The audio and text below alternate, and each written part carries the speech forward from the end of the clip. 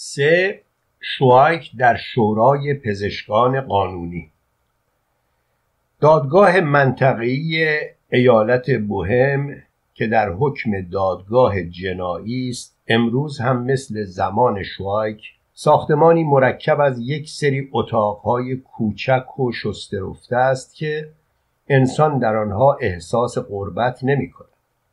به همین جهت در شوایک تأثیر مطلوبی گذاشت با لذت دیوارها را که تازه با گچ سفید کرده بودند همینطور میله های فلزی را که رنگ سیاه زده بودند تماشا می کرد. گاهی نگاه خود را به سرنگهبان چاق آقای دمارتینی معمور بازداشتگاه موقت می دوخت. این مرد یقه و سردوشی های بنفش داشت رنگ بنفش که در اینجور جاها الزامی بود همان است که کلیسا برای مراسم و اعیاد رسمی تجویز می کند. انسان به یاد دوران پرشکوه تسلط رومی ها بر اورشلیم می افتاد. بازداشتی ها را از سلول ها بیرون می کشیدند و به طبقه همکف می بردند تا به حضور پیلاتوس سال 1914 برسند. و بازپرس ها این پیلاتوس های عصر جدید به جای اینکه برای براعت زنبه خود دست ها را بشویند دستور آبجوی پیلسن می‌دادند و به طور مداوم ادعانامه های از پیش تنظیم شده را برای دادستان میفرستادند اینجا بود که منطق کنار می‌رفت و تبصره های قانونی پیروز می شدند. تبصره آدم را خفه می کرد. تبسره کلولال می‌شد. تبسره از در و دیوار میریخت. تبسره به دست و پا میپیچید. تبسره خطرناک می‌شد.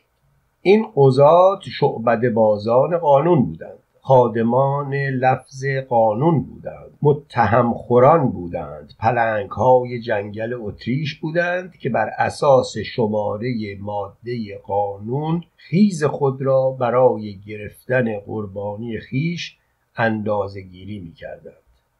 معهازا یک استثناء بر این قاعده بود.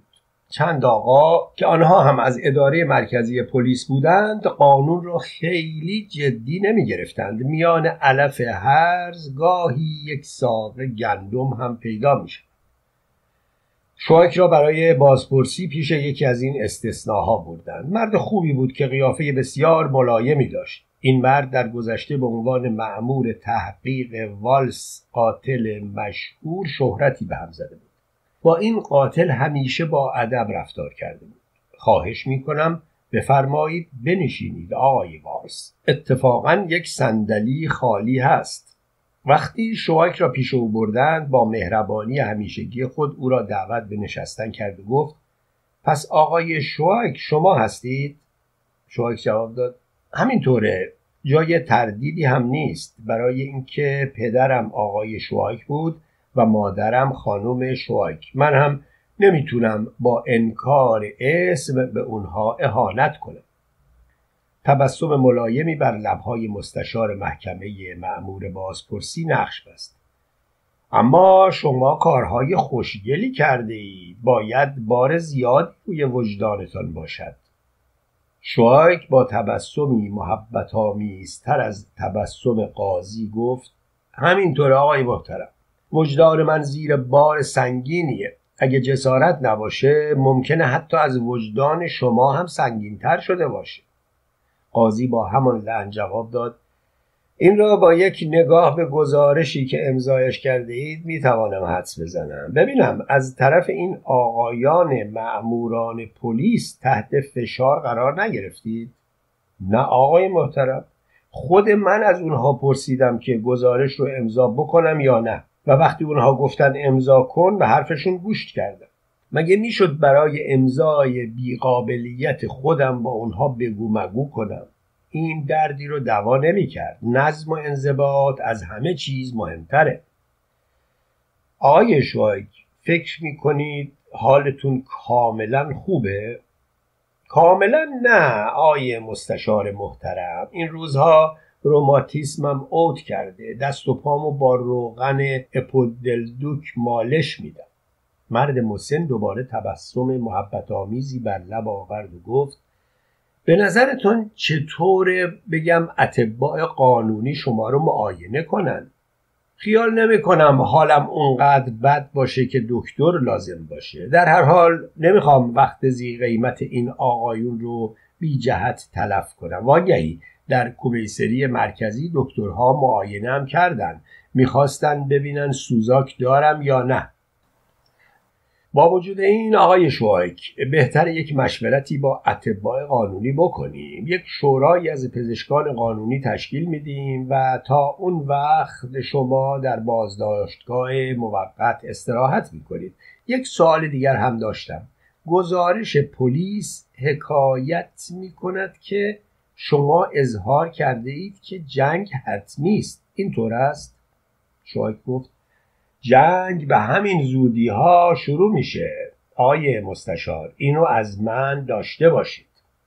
این رو هم می‌خواستم بدونم. شما گاه گاهی یک حالت بحرانی عصبی ندارید. مقصودم اینه که بعضی اوقات یک احساس غریبی ندارید که مثلا فکر کنید یک نفر قصد جان شما رو داره و شما حرف او را برید. فقط یک دفعه یه همچین احساسی پیدا کردم. اون هم وقتی بود که نزدیک بود توی میدون کار زیر یک ماشین برم. اما این مال خیلی سال پیشه. بازجویی تمام شد. شوایک با قاضی دست داد و به اتاق کوچک و آرام خود برگشت و به رفقای همسلولی خود گفت مثل اینکه می‌خوان به علت قتل عالی جناب آرشیدوک فردیناند منو بفرستن پزشک قانونی معاینم کنه. مرد جوانی گفت پزشک قانونی منو هم یه دفعه معاینه کرده. این وقتی بود که برای یک موضوع غالی در دادگاه جنایی محاکمه می‌کردن. اونها تشخیص دادن که من به خبت دماغ مبتلا هستم. و حالا که یک پرونده خیانت در امانت دارم دیگه نمی‌تونن محکومم کنن. وکیلم همین دیروز می‌گفت می‌تونم با خیال راحت بخوابم. برای اینکه یک دفعه که گفتم خبت دماغ دارم دیگه برای باقی عمرم راحتم. مرد دیگری که قیافه باهوشی داشت گفت ای بابا من به این پزشکای قانونی شما هیچ عقیده ندارم. یک دفعه من می‌خواستم یک جعل مختصر بکنم. جعل یک برات بی اهمیت برای اینکه زندون نرم درس های پروفسور هوروش راجع به امراض روانی رو مطالعه کردم. وقتی دستگیرم کردن از درس های هوروش استفاده کردم و تظاهر به فلج با همه عوارضی که شهر داده بود کردم. در شورای پزشکی پای یک پزشک قانونی رو گاز گرفتم. تمام شیشه جوهر رو سر کشیدم و جسارت نباشه. آقایون شلوارم رو در آوردم و کنار اتاق غذای حاجت کردم. همه چیز رو به راه بود اما به دلیل اینکه ماهیچه اون یارو رو گاز گرفته بودم نظر دادن که از تمام قوای اقلانی برخوردارم و حسابم رسیده شد. شوی گفت من از این آقایان واهمه ندارم. وقتی من خدمت وظیفه می کردم یک دفعه مجبور شدم پیش بیتار برم و هیچ اتفاقی نیفتاد.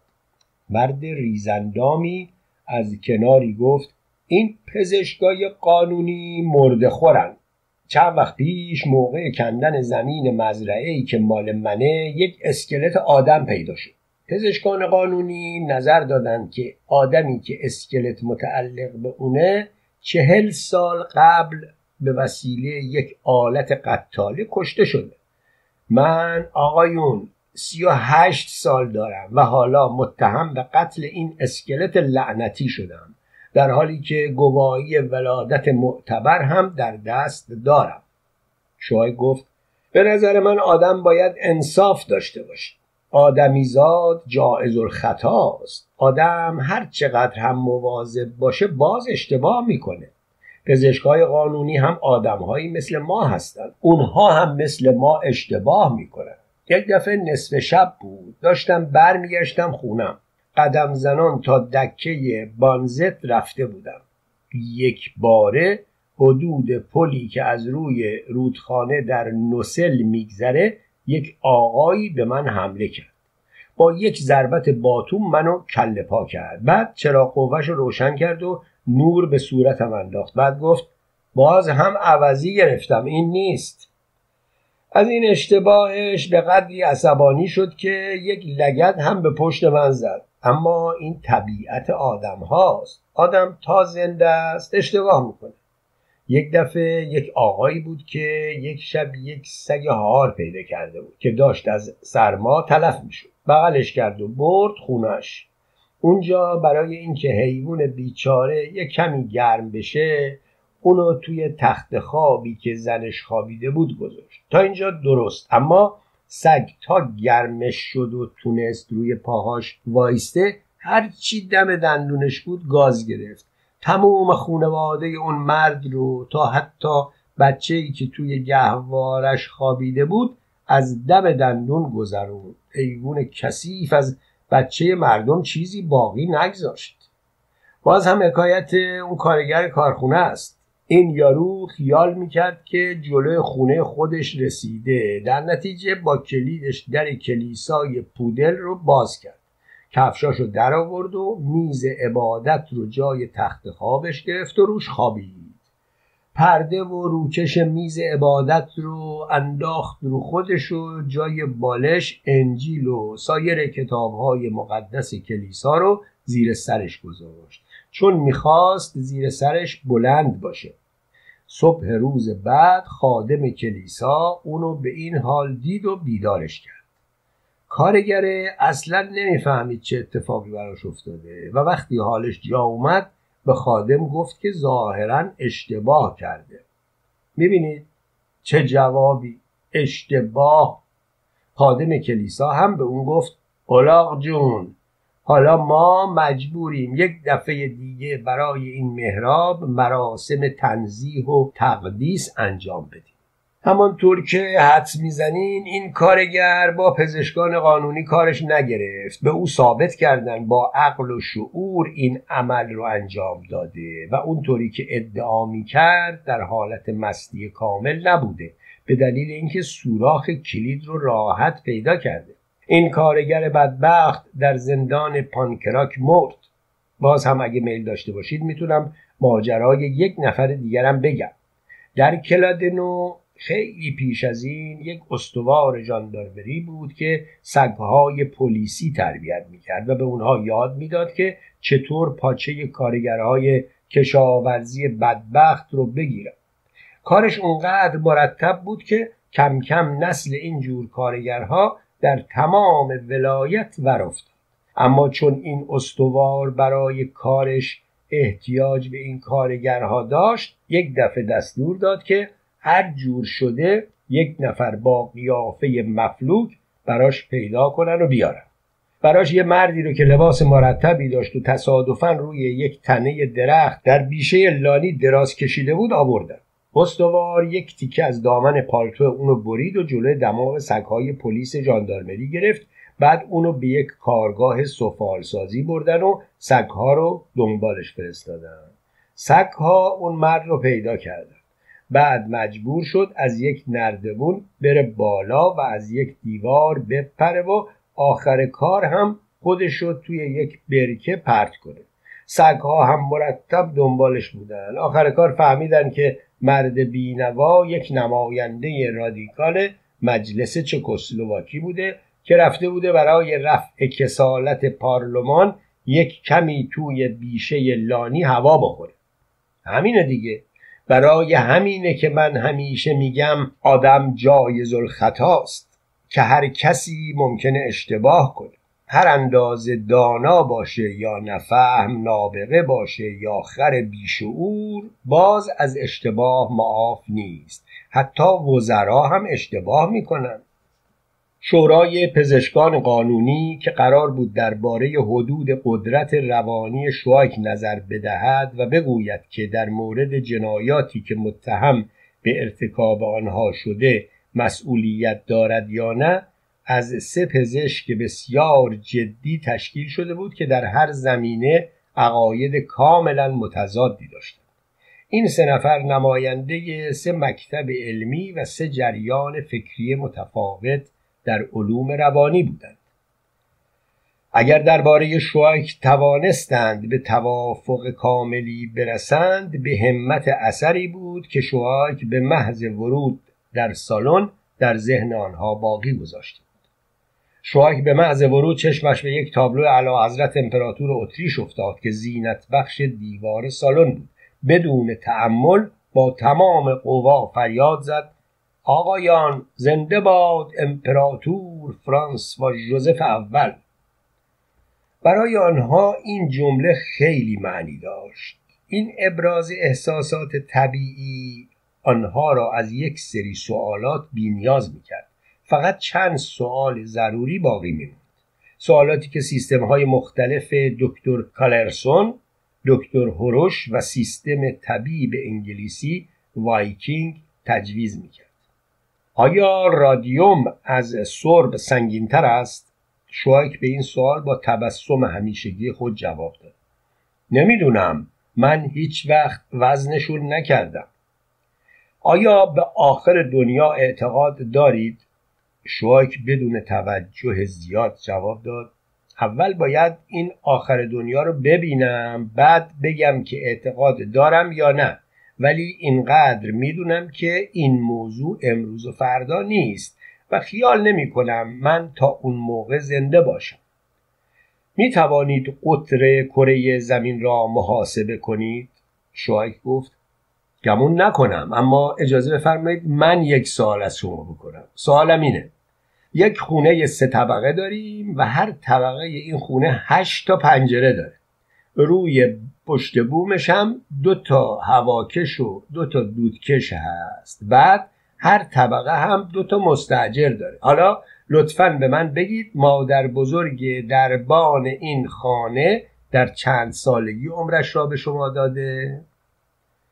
پزشکان قانونی نگاهی به هم کردند که معنایش این بود. او خل است و ما عاقلیم. ولی یکی از آنها باز از شوایک سوال دیگری کرد. می‌دانید حد اکثر عمق اقیانوس آرام چقدر است؟ شوایک جواب داد نه متاسفانه. ولی حتما از عمق رودخانه ولتاوا نزدیک تپه ویسراد بیشتره. رئیس کمیسیون با اشاره به همکاران خود فهماند که سوال و جواب کافی است ولی یکی از اعضا باز از شوایک پرسید 12897 ضرب در 13863 چقدر میشه؟ شوایک بلافاصله جواب داد. 729 رئیس کمیسیون گفت تصور می‌کنم دیگر کافی باشد. متهم را به سلولش برگردانید. شوایک با احترام گفت از شما متشکرم آیان برای من هم دیگه کافیه. وقتی شوایک بیرون رفت این مثلث خدایان تب نظر دادند که شوایک یک صفیح مطلق است. صفیحی که تمام قوانین طبیعی زائیده فکر استادان روانشناسی درباره او قابل اجراست در گزارش که به قاضی تحقیق دادند به خصوص این جملات جلب توجه می‌کرد. امضا کنندگان زیر پزشکان قانونی با توجه به بلاحت کلی و سفاحت موروسی آقای جوزف شوایک که امروز در کمیسیون متشکله جهت آزمایش روانی حضور یافت با در نظر گرفتن اینکه فریادهایی از قبیل زنده باد امپراتور فرانسوا جوزف اول کشید و این به خودی خود برهان بلاحت بیچون و چرای نامبرده فوق می باشد اعلام می دارند که بایستی در اسرع وقت اولا بازپرسی از مشار الیه موقوف شود و ثانیا جوزف شوایک از طرف یک کمیسیون خاص پزشکان مسئول تیمارستان مورد معاینه قرار گیرد تا نظر خود را دائر بر اینکه جنون وی برای نظم و امنیت عمومی تا چه حد خطرناک است ابراز نماید. در همان وقتی که پزشکان مشغول تنظیم این گزارش بودند شوایک به همسلولی های خود گفت اینها هم زیاد قصه فردیناند رو نمی‌خورند.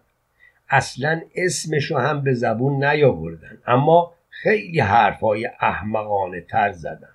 آخر کار هم همه گفتیم که حرف زدن کافیه و چهار نفری خوش و خرم از حرفهایی که با هم زده بودیم از هم جدا شدیم. آن مرده که ریزه متهم به قتل اسکلت مکشوفه در مزرعش گفت من به هیچ چیزی و هیچ کس اعتقاد ندارم. همه اینا حق بازیه. شاک در حالی که روی تخت خواب خود دراز می‌کشید گفت حتی این حق بازی ها لازمه که باشه. اگه همه مردم خیر و خوبی هم رو می‌خواستن دنیا پر از جنگ و جدال می‌شد. چهار چگونه شوایک را از تیمارستان اخراج کردند. شوایک بعدها هر وقت از زندگی در تیمارستان حرف می‌زد با عبارات تحسین آمیز بود. واقعا هیچ نمی‌فهمم چرا دیوانه ها از جای به این خوبی گله دارند دارالمجانین خانه است که در اون آدم می‌تونه لخت مادرزاد بگرده. مثل یک شغال زوزه بکشه. تا دلش می‌خواد عصبانی بشه و هر قدر و هر چیزی رو بخواد گاز بگیره. اگه آدم جرأت می‌کرد توی خیابون یک همچی کارهایی بکنه همه مردم زهرشون رو میباختن. ولی اونجا این کارها خیلی طبیعیه. اونجا به قدری آزادی وجود داره که سوسیالیست ها هیچ وقت حتی خوابش رو هم ندیدن. اونجا آدم می‌تونه ادعای خدایی بکنه. می‌تونه خودش رو جای باکره مقدس یا پاپ یا پادشاه انگلیس یا جای هر امپراتوری یا حتی سن ونسلاس غالب بزنه. توی این دارالمجانین اون مردی که خودش رو عوض ونسلاس مقدس جا می‌زد مدام توی اتاق لخت میگشت. یک برد دیگه ای بود که صبح تا شب داد می‌زد که اسقف اعظمه. اما این یکی فقط می‌خورد و جسارت نباشه کار دیگه می‌کرد. البته می‌دونید کار دیگه چی بود و عین خیالش هم نبود. یک دیگه هم بود که خودش رو در عین حال عوض مقدسین سن سیریل و سن متود جا می‌زد که سر هر غذا دو تا جیره داشته باشه. یک آقای دیگه هم بود که ادعا می‌کرد آبستنه و همه رو دعوت می‌کرد که به مراسم تعمید بیاد بین دیوانه های محبوس همه جور آدم بود. شطرنج باز سیاستمدار ماهیگیر پیشاهنگ تمرباز عکاس و نقاش. یک مشتری دیگه هم بود که کاسه شکسته ها رو جمع می‌کرد و مدعی بود که این کاسه ها ظرف های خاکستر اجساد مردگانه. یکی دیگه هم بود که مدام روپوش مخصوص دیوانه ها رو تنش می‌کردن که نشینه تاریخ آخر دنیا رو حساب کنه. در این تیمارستان چند تا پروفسور رو هم دیدم. یکی از اونها بود که مدام همه جا دنبال من میومد و برام توضیح می‌داد که مهد کولی ها در کوه های کارکنوز است. یکی دیگه با چه حرارتی می‌خواست به من ثابت کنه که داخل کره زمین یک کره کوچکتر هست و این کره ما در واقع جلد اون کره کوچکتر داخلیه. هر کسی آزاد بود هر چی دلش می‌خواست و هر چی به مغزش می‌رسید بگه بیشباهت به پارلمان نبود. خیلی وقتا آدمها برای همدیگه قصه پریان نقل می‌کردن و آخر کار اگر یک پرنسس عاقبت به خیر نمی‌شد به سر و کله هم میپریدن و دعوا می‌شد. خطرناکترین دیوانه ای که من اونجا دیدم مردی بود که خودش رو جلد 16 همه آنسیکلوپدی می‌دانست. این مرد از سایرین خواهش می‌کرد که بازش کنند و ببینن در مقابل کلمه کارگر مقواسازی چی نوشته. در غیر این صورت او در خطر مرگ قرار می‌گیره و تنها روپوش مخصوص دیوانه ها بود که آرومش می‌کرد. اون وقت خوشحال می‌شد و می‌گفت که به موقع اونو زیر چاپ گذاشتن و التباس می‌کرد که خوب صحافیش کنه. برای اینکه حق مطلب رو ادا کرده باشم باید بگم که اونجا آدم یک زندگی بهشتی داره. می‌تونید قیل و قال کنید نعره بکشید آواز بخونید گریه کنید مثل گوسفند بعبع کنید صدای گاو در بیارید جست و خیز کنید دعا کنید جفت بزنید لیلی کنید چهار دست و پا را برید مثل فرفره دور خودتون بچرخید برقصید یورتمه برید تمام روز چنباتمه بشینید یا از دیوارها برید بالا. هیچ کس نمیاد مزاحمتون بشه و به شما بگه این کار رو نکنید خوب نیست خجالت نمی‌کشید. اون وقت ادعا می‌کنید یک آدم تربیت شده هستی. البته بین اونها دیوانه های ساکت هم هستن. مثلا یک مخترع خیلی دانشمند بود که مدام انگشتش توی دماغش بود و روز یک دفعه فریاد می‌زد. بالاخره برق رو اختراع کردم. همانطور که گفتم اونجا جای خوبیه و چند روزی که من در دارالمجانین گذروندم قشنگترین روزهای زندگی من بود.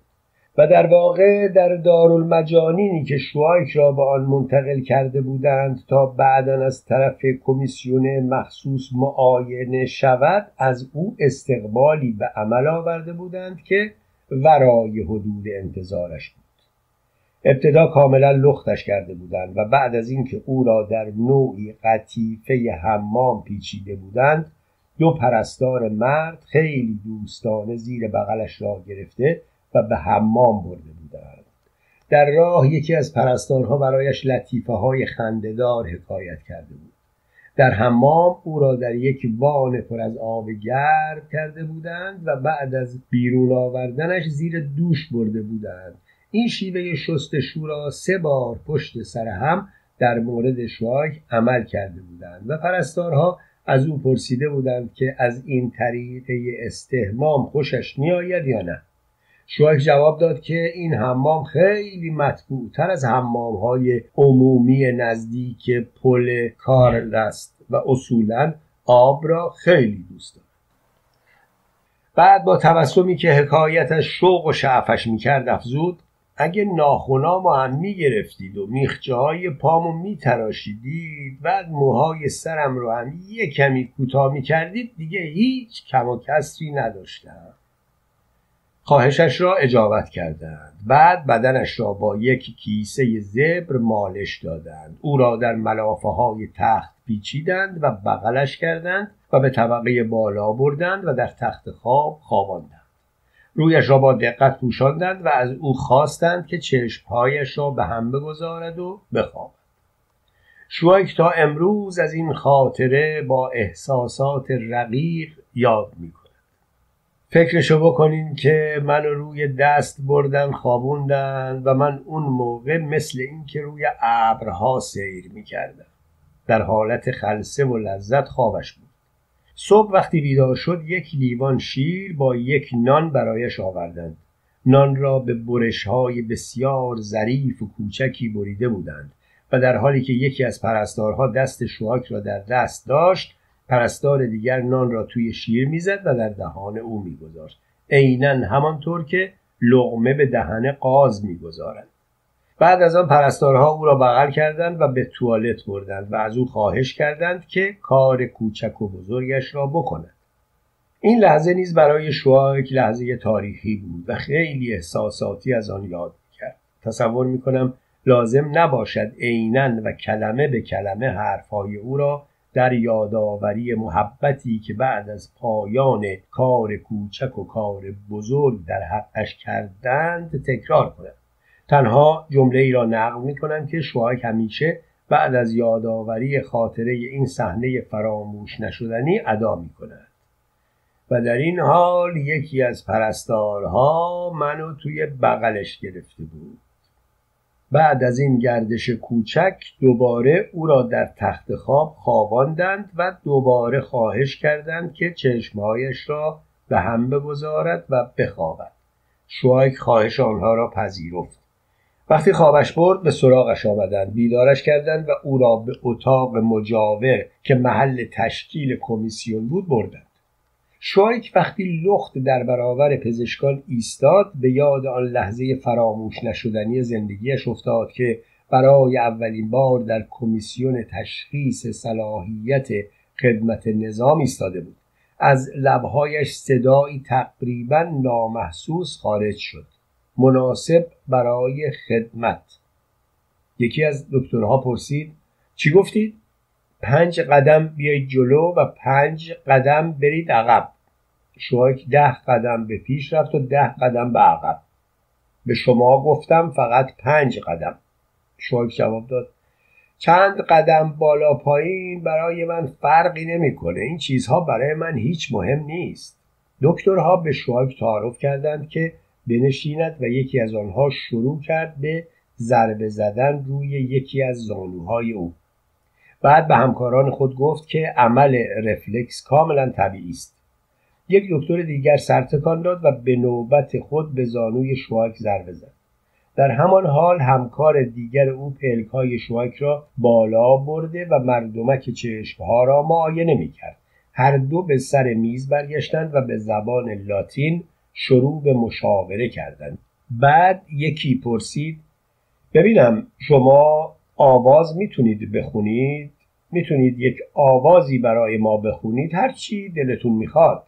شواک جواب داد البته که می‌تونم آیان اما این رو عرض کنم که فقط برای خاطر دل شماست وگرنه من نه آواز خونم نه موسیقی دان بعد شواک شروع کرد بخواندن به چه می اندیشد بر مسند خود این کشیش چرا این چنین بیقرار است و دلریش ز چه رو می ریزد اشک چون ابر بهار؟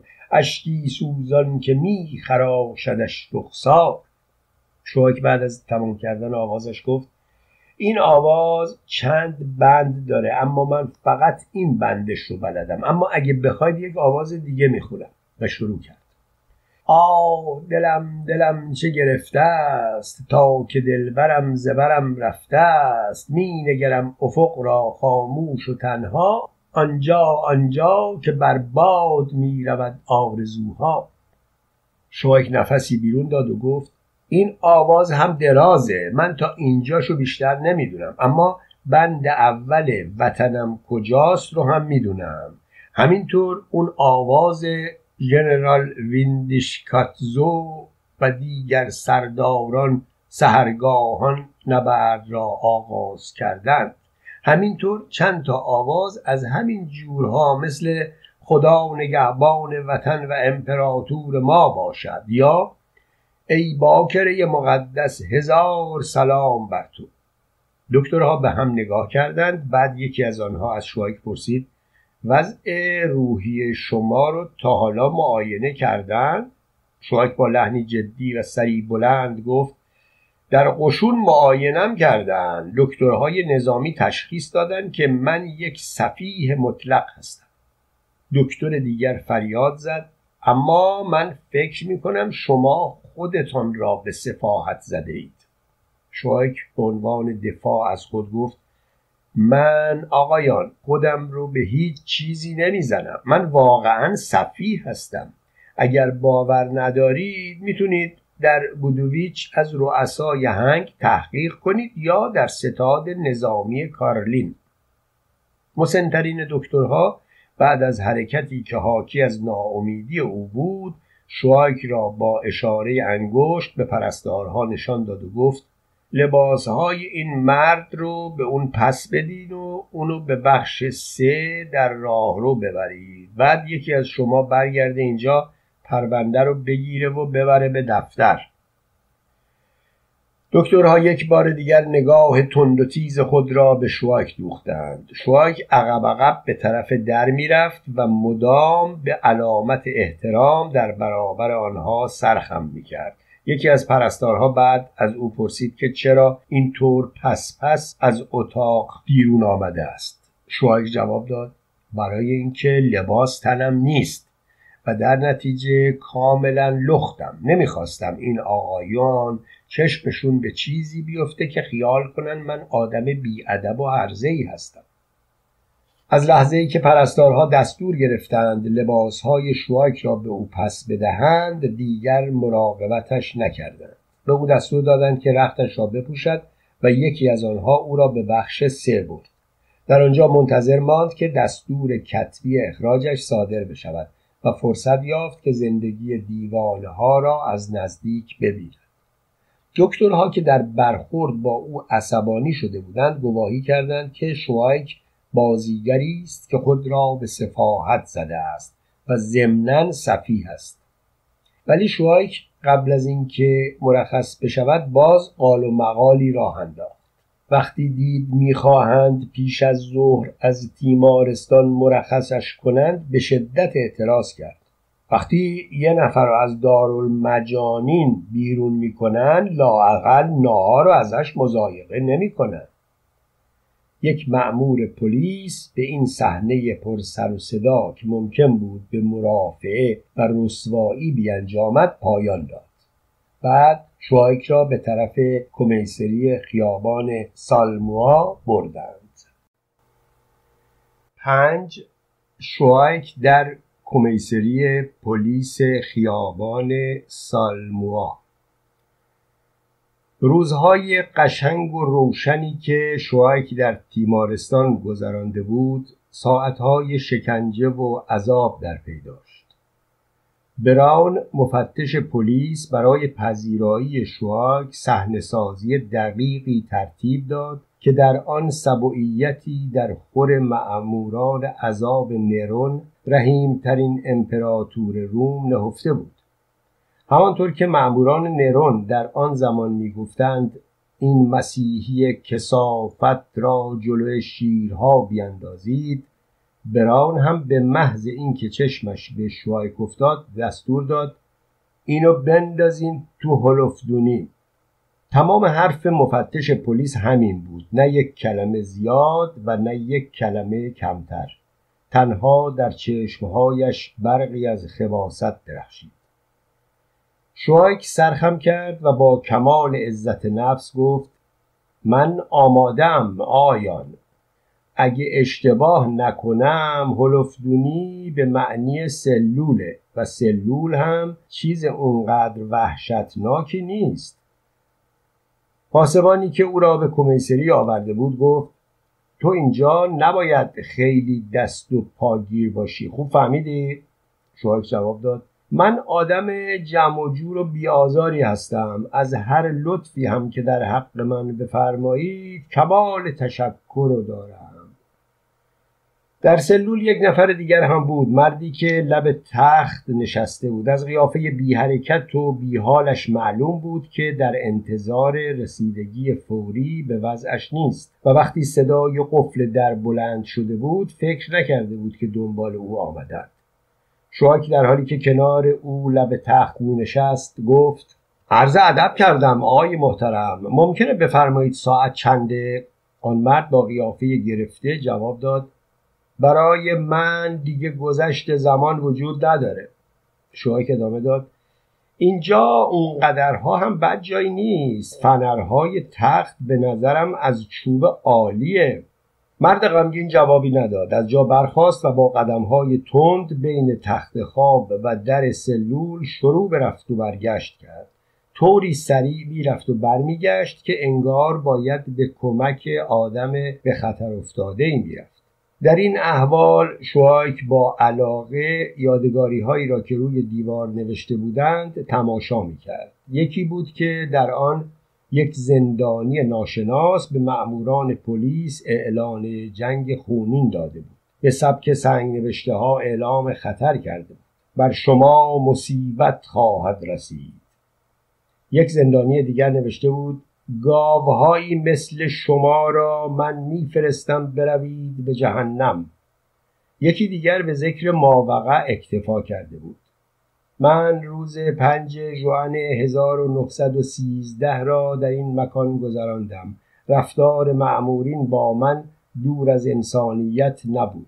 جوزف مارچک تاجر مقیم ورکویچ.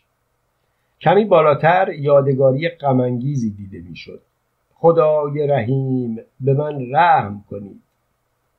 یک روح شاعرانه اینطور بیان مقصود کرده بود. کنار جویباری نشستم. با دلی غم زده غروب آفتاب را می نگرم. به عشق که چون آب جویبار می گذرد بیاندیشم به عشق محبوبم که اکنون دیگر به یاد من نیست. مرد زندانی که بین در و تخت خواب در رفت آمد بود و انگار خود را برای مسابقه راهپیمایی استقامت آماده می کرد نفس زنان سر جای خود روی تخت نشست. سرش را بین دستها گرفت و ناگهان فریاد زد آزادم کنید و به حرف زدن با خود ادامه داد. اما نه البته که آزادم نمی کنن. با اینکه از ساعت شیش صبح اینجا هستم. بعد سر بلند کرد و به شوهایک گفت شما یک کمربند ندارین که من خودم رو خلاص کنم؟ شوهایک در حالی که کمربند خود را از شلوار بیرون می‌کشید جواب داد چرا؟ دارم و با کمال میل به شما امانت میدم به خصوص اینکه تا حالا ندیدم که توی یک سلول چطور آدم خودشو دار می‌زنه. بعد دوروبر خود را نگاه کرد و ادامه داد گرفتاری اینه که اینجا یک میخ قلابدار نیست. دستگیره پنجره هم به درد نمی‌خوره. مگه اینکه خودتون رو نشسته دار بزنید. مثل اون کشیش عبادتگاه اموس در پراگ که خودش رو برای خاطر یک دختر کلیمی به یک صلیب کلیسا آویزون کرد. من خودکشی های اینجوری رو خیلی خوشم میاد ببینم. دست به کار بشید. مرد غمزدی که که کمربند چرمیش را به او تعارف کرده بود چند لحظه کمربند را نگاه کرد. آن را گرفت و به گوشه انداخت و زد زیر گریه. بعد در حالی که ناله کنان با دستهای کثیفش اشکهایش را پاک می‌کرد گفت من زن و بچه دارم. منو به جرم بدمستی و هرزگی بازداشت کردن. یا مسیح مریم زن بیچارم چی فکر می‌کنه؟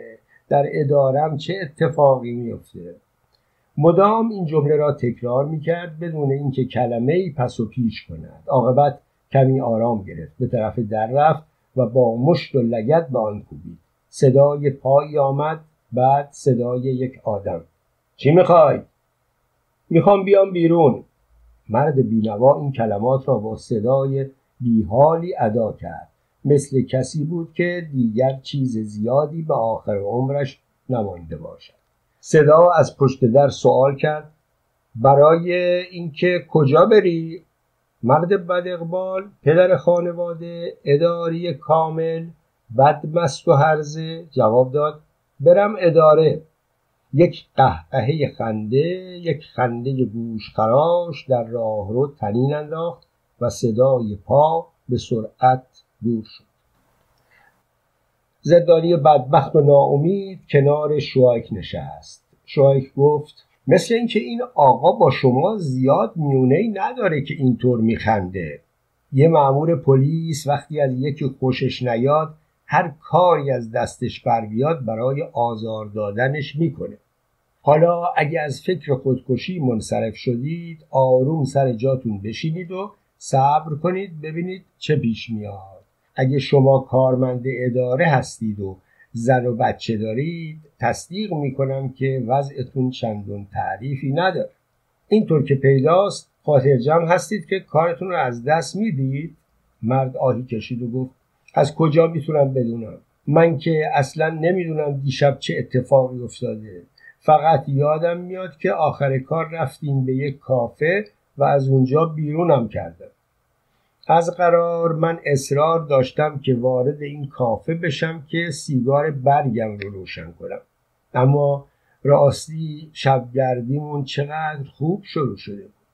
جشن رئیس دایره ادارمون بود. با ما قرار گذاشته بود که توی یک دکه میفروشی جمع بشیم. از اونجا رفتیم یک دکه دیگه بعد دکه سوم بعد چهارم پنجم ششم هفتم هشتم نهم. شوهک گفت می‌خواید من کمکتون کنم بشمارید؟ من توی این کار خیلی خبره هستم. یک دفعه من ظرف یک شب به 28 دکه سر کشیدم. اما باید بگم که توی هر کدوم از این دکه ها بیشتر از سه گیلاس آبجو نخوردم. کاربند مفلوک که رئیسش عیدش را با کافه گردی جشن گرفته بود دنباله حرفش را گرفت.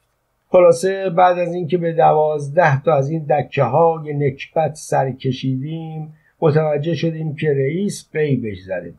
اینم عجیب برای اینکه اونو به یک تناب بسته بودیم که گمش نکنیم و بیچاره رو مثل یک سگ دنبال خودمون می‌کشیم. برگشتیم به تمام دکه هایی که با هم رفته بودیم سر زدیم. اما از بس گشتیم خودمون هم همدیگر رو گم کردیم. آخر کار من از یک بار شبانه وینو هرایی سر در آوردم. جای خیلی آبرومندی بود. اونجا نمی‌دونم چه لیکوری بود که خوردم. حتی ته بطری رو در آوردم. از اتفاقات بعدی دیگه چیزی نمی‌دونم. فقط از صورت مجلس دو پاسبانی که منو آوردن اینجا فهمیدم که مست کردم و خیلی رزالت کردم. یه خانوم کدرک زدم. کلاهی رو که مال من نبوده و از جارختی برداشته بودم با چاقو پاره کردم یک ارکستر زنونه رو فراری دادم. گارسون کافر رو متهم کردم که 20 کرون از جیبم زده مرمر روی میزی رو که سر اون نشسته بودم شکستم. به صورت یک آقایی که سر میز پهلویی نشسته بود توف انداختم بعد هم توی فنجون قهوهش توف کردم. اینها جرائم منه. یعنی یادم نمیاد دیگه چه اتهاماتی دارم و باور کنید که من آدم مرتب و منظم و سربراهی هستم آدم معقولی هستم که فکری جز فکر خانه و خانوادهش نداره شما چه فکری می‌کنید؟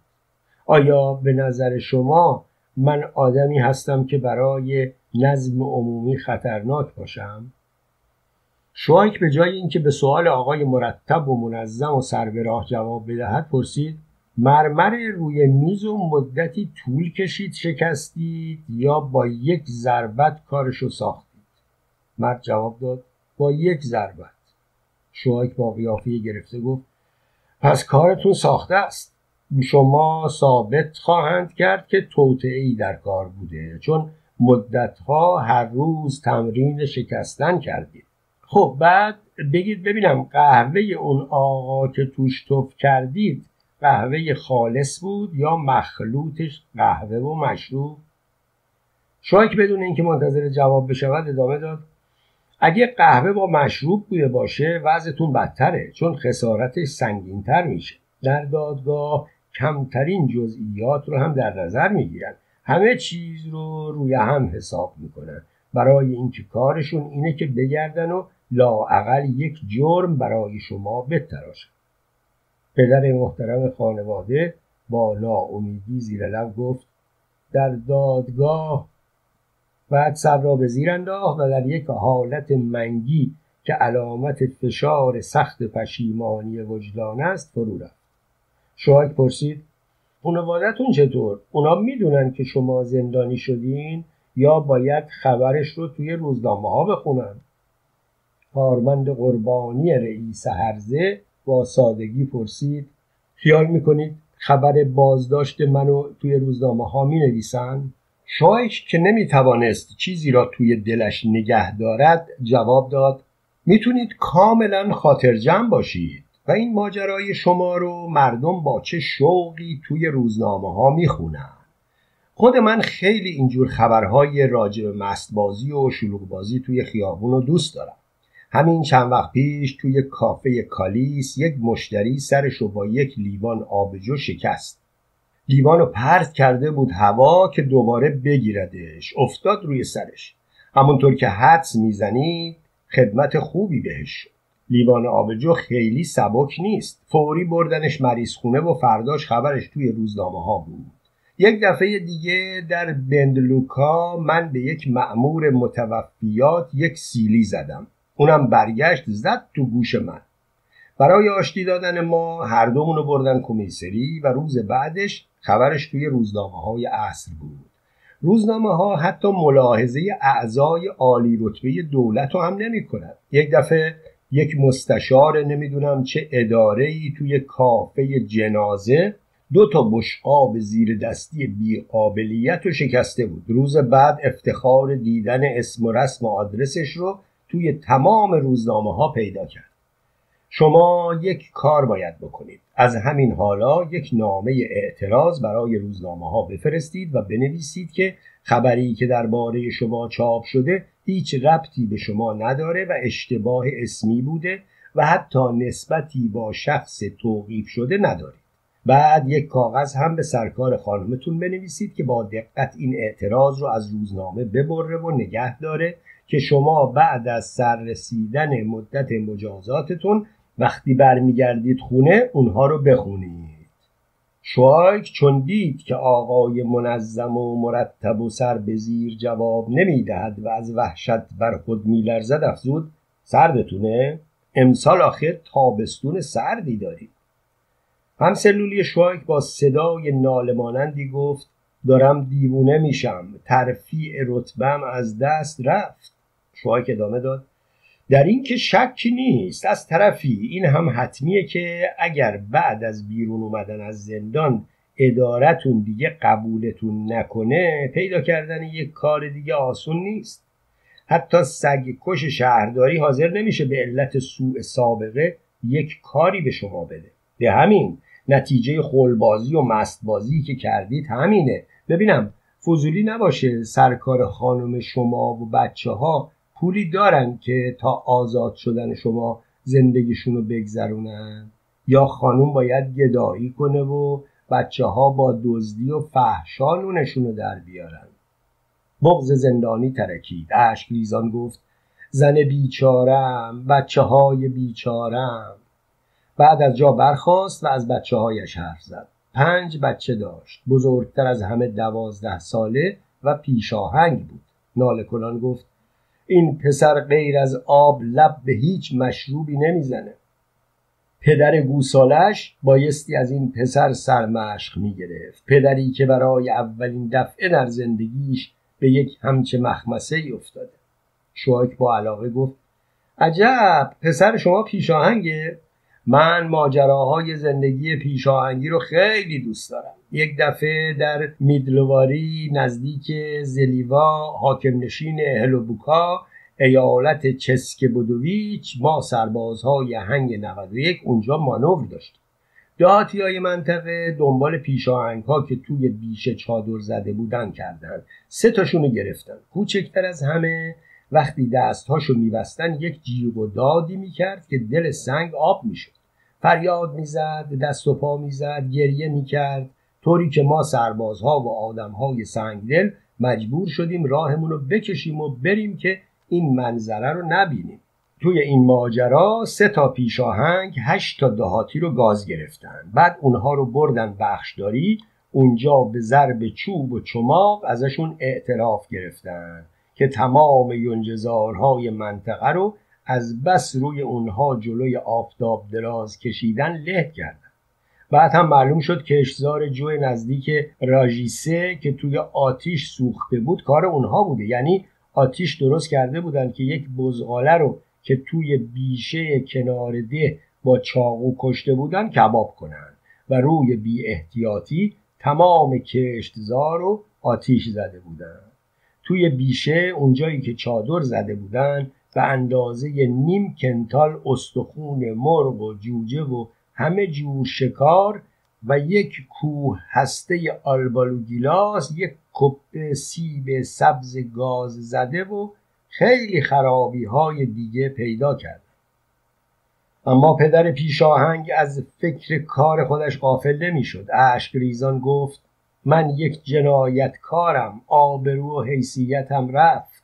شوایک با صداقت معمولی خود گفت خب این که معلومه بعد از اتفاقی که افتاده زندگیتون به گند کشیده شده. برای اینکه وقتی اسمتون توی روزنامه چاپ بشه رفقاتون هر چیزی رو که درباره شما بدونن رو می‌کنن. رسم روزگار همینه. اما زیاد هم خودتون عذاب ندید. توی دنیا اونقدر آدم ها هستن که بی آبرو و بی اعتبار شدن و راست راست راه میرن. شاید عدهشون ده برابر آدمهای پاک و پاکیزه باشه. این چیزها اینقدرها مهم نیست. صدای پا از راهرو به گوش رسید. صدای قفل در شنیده شد و در سلول باز شد. یک پاسبان شواک را صدا زد که همراهش برود شواک خیلی آقا منشانه گفت خیلی ببخشید من از ظهر اینجام. در صورتی که این آقا از ساعت شش صبح منتظره. من زیاد عجله ندارم. یک دست قوی یقه شواک را گرفت و او را به راهرو کشید. بعد بدون ادای کلمه ای او را به طبقه اول ساختمان بردند. در میان اتاق کمیسر پلیس پشت میزش نشسته بود. مردی تنومند با قیافه ملایم بود. پس آقای شوایک شما هستید؟ چرا شما را آوردن اینجا؟ شوایک گفت آقای پاسبون منو آورد اینجا. برای اینکه اعتراض کردم که چرا می‌خواستن نهار نخورده منو از تیمارستان اخراج کنن. این یک توهین به من بود. برای اینکه من یک زن ولگرد کوچه ها نیستم. کمیسر با لحنی دوستانه گفت گوش کنید آقای شوایک. هیچ علتی نداره که نتونیم با هم به تفاهم برسیم. به نظر من بهتر شما رو به اداره مرکزی پلیس بفرستیم. شما غیر از این فکر می‌کنین؟ شوایک با قیافه راضی جواب داد هرچی شما بفرمایید. شما به قول معروف صاحب اختیارید امشب هوا خیلی ملایمه و یک پیاده روی تا اداره مرکزی زیاد نامطبوع نیست. راه بیفته کمیسر با خوشحالی گفت خوشحالم که هم عقیده هستیم. تفاهم بهترین چیز دنیاست. نظر شما غیر از اینه آقای شوایک شوایک گفت البته و صد البته. آقای کمیسر من هم خیلی علاقه دارم که با مردم به تفاهم برسم. باور بفرمایید هیچ وقت این محبتتون رو فراموش نمی‌کنم. شوایک معدبانه در مقابل کمیسر سرخم کرد و همراه پاسبان به دفتر برگشت. یک ربع ساعت بعد شوایک تحت مراقبت یک پاسبان پلیس سر پیچ خیابان یچنا و میدان کارل در حرکت بود. پاسبان دفترچه قطوری زیر بغل داشت که روی آن به زبان آلمانی نوشته شده بود دفتر بازداشتی ها سر خیابان اشبالنا جمعیتی جلو یک اعلان دیواری جمع شده بود. پاسبان به شوهر گفت این اعلامیه اعلی حضرت امپراتور درباره اعلان جنگه شوهر جواب داد جنگ؟ من گفته بودم که جنگ میشه ولی در تیمارستان کسی خبر نداشت در صورتی که اونها باید قبل از همه خبر می‌شدن. پاسبان پرسید مقصودتون از این حرف چیه؟ شوهر توضیح داد. مقصودم اینه که اونجا خیلی از این آقایان افسران محبوس هستند وقتی بازداشتی و پاسبان به گروه دیگری از مردم که جلوی یکی از همان اعلامیه ها جمع شده بودند رسیدند شوایک فریاد زد. زنده باد امپراتور فرانسوا جوزف در این جنگ باید فاتح شد و ما فاتح می شویم. یک نفر از میان جمعیت چنان مشتی به سر شوایک روی کلاه ملون او زد که گوشهایش زیر کلاه رفت. ولی دیگر سرباز پاکدل جلوی در اداره مرکزی پلیس رسیده بود. شواک قبل از اینکه از آستانه در ورودی بگذرد دوباره فریاد زد این جنگ رو ما می‌بریم. این هیچ حرفی نداره. تکرار می‌کنم آیان ما جنگ رو می‌بریم این اعتقاد منه. و در این احوال در روشنایی کمرنگی که در افق اروپا پدیدار شده بود می‌شد دید که پایه های راسخترین اعتقادات از روزی به روز بعد رو به سستی می‌رفت.